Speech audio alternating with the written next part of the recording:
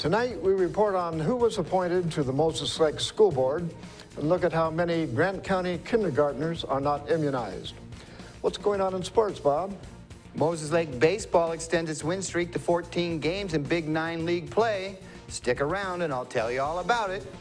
Here's a look at our Weather Center forecast.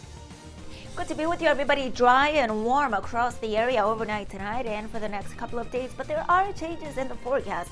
I'll bring you all the details in just a few moments. I'm Alan Troop. Stay tuned for all of this and much more on iFiber One News. From the iFiber One HD studio here in the heart of the Columbia Basin, this is iFiber One News, your number one source for local news sports headlines, and our very own Weather Center forecast covering the entire Columbia Basin. This is iFiber One News, and it starts now.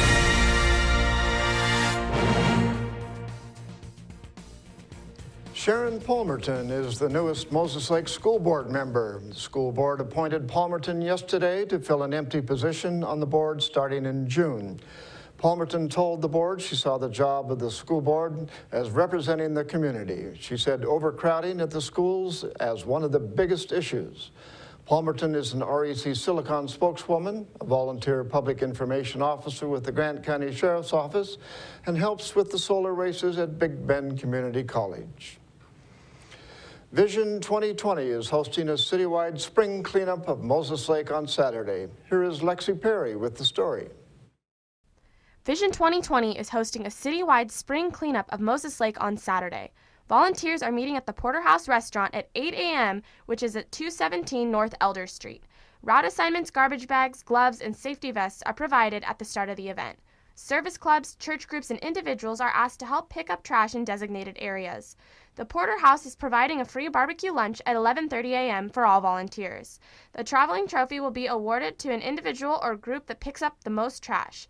For more information or to request a special route to cleanup, contact Route Coordinator Alan Haro at 509 750 0072 or Vision 2020 Chair Bill Eckert at 509 989 1982. For iFiber One News, I'm Lexi Perry. Thank you, Lexi. The Grant County Health District reports nearly 9% of all kindergarten-aged children haven't been vaccinated. The Health District released the information in connection with National Infant Immunization Week and Toddler Immunization Month. District officials have pointed out the rates of certain diseases, such as measles, are increasing. They blame the increase on parents not getting vaccinations for their children. Grant County kindergarten entry immunization rate is 91.2%, which is better than the state rate of 85.6%. It means nearly 10% of Grant County's children remain at risk for preventable illnesses. Shots may be provided to children for free or for little cost. To find out more, call the district's Moses Lake office at 509-793-3520.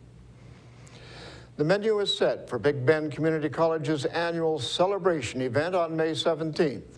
Celebration is an annual semi-formal dinner and auction. It is the primary scholarship fundraiser for the Big Bend Community College Foundation. The proceeds go to scholarships for students. The quality of the yearly gourmet dinner is the highest priority of the event planners. Tickets for the event are $100 per plate with table sponsorships available for purchase. For more information, contact Big Bend Community College Foundation at 509-793-2006. Now let's take a look at people currently being sought out by the Grant County Sheriff's Office. This is Sheriff Tom Jones with the Grant County Sheriff's Office. Each of the people you see here have a warrant for their arrest. If you see any of these people, we ask you do not attempt to detain or apprehend them, but call us at 509-762-1160 or send us an email at crimetips at co.grant.wa.us. If the person is presenting a danger, call 911. With your help, we can bring these people to justice and make our community safer. We will be back after this.